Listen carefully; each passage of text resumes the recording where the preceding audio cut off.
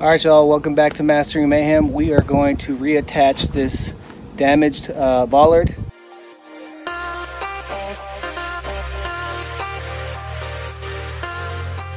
So we're gonna go ahead and show you guys how to do that. Thanks for watching. So as you can see here, these four bolts are completely ruined, damaged, no more threading left, bent. We're gonna go ahead and use my Ridgid uh, angle grinder to cut these guys down and make it level again. And then I'm gonna use my Bosch SDS drill to drill new holes, basically pretty close to the old ones. That way we don't move the pole much further than what it was, where it was. And it'll be done nice and clean. And then we gotta pound these down, see how they're they're bent so I'm gonna see if I can straighten those out with my three, four, five pound uh, sledgehammer, mini sledgehammer here. See if we can straighten that out.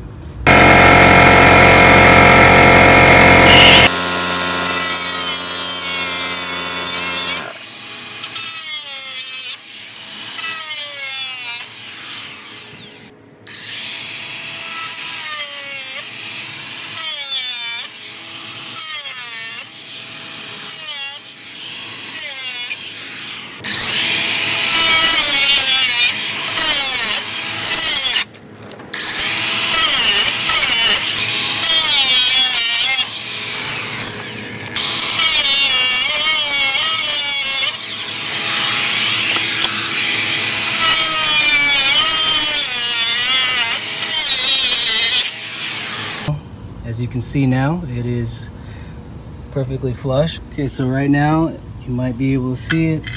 I already smashed down one side, straightened it out, and I'll smash the other side just to show you I'm just using a piece of wood so I don't break up the concrete. And uh, we'll just go from there.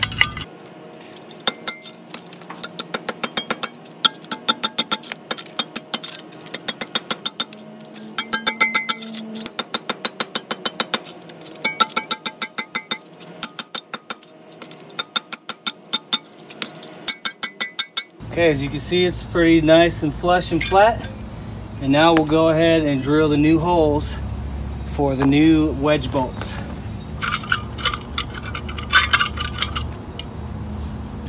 Okay, so for this part, I already adjusted my depth rod to where I drilled the first hole right here.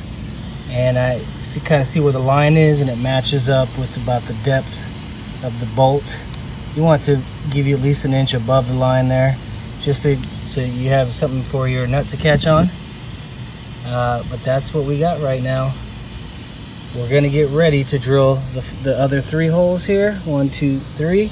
And then we're gonna, with the air compressor, we're gonna go ahead and clean out the holes because it highly recommends that with these Strongbolt 2 by Simpson Strong Tie. So it shows you right here on the back too how to do it. So you just drill out the hole, clean it out, and then with the hammer you just knock it down on top of the plate, this plate here. Just knock the bolt down all the way and then you just tighten it down and it should hold it securely. So we'll go ahead and film that process.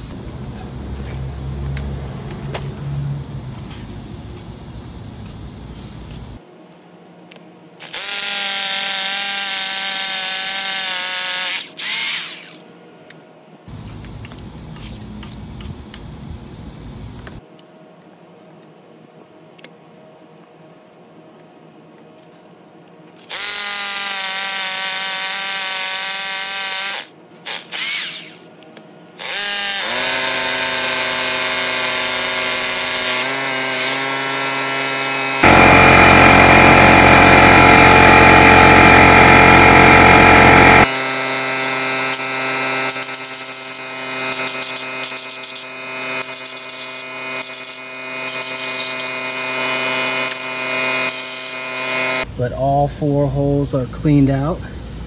Uh, just air air cleaned them. I mean, as you can see though, we have water here. I don't know where the leak's coming from or where the water's coming from, but um, there is water in there. But I'm just gonna start knocking these 3 8 inch by 3 and 3 quarter inch bolts into place. Basically, you take the 3 8 inch in diameter bolt and put it right in the hole there. And you just take your hammer and you just start to knock it in and just go down to the point of where you have at least an inch or so above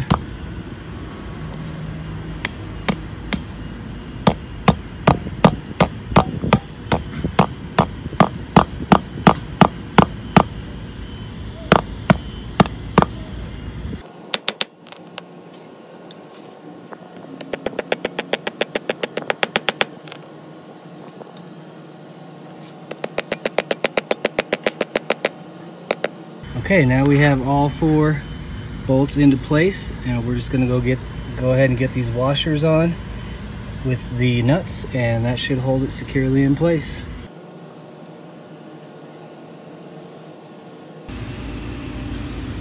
All right, y'all, so we went ahead and got some bigger washers here and some smaller ones. Then on top of that, I put some lock washers and then the nut that way. Because uh, the holes inside the bottom metal plate of the bollard was, they're too big. So just kind of just make sure, make sure we have enough surface area covered. So we'll go ahead and tighten these down and we should be good. All right, so like I was saying, we'll just tighten them down now and it'll be good to go. I'm gonna go the back side first because it seemed like this part's a little higher. And I'm just using my Ridgid impact wrench impact driver here because it does the job well enough.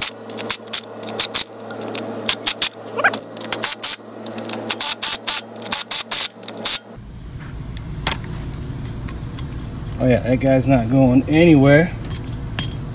It's there for as long as it, you know, it doesn't rust out. All right, y'all, so that's it.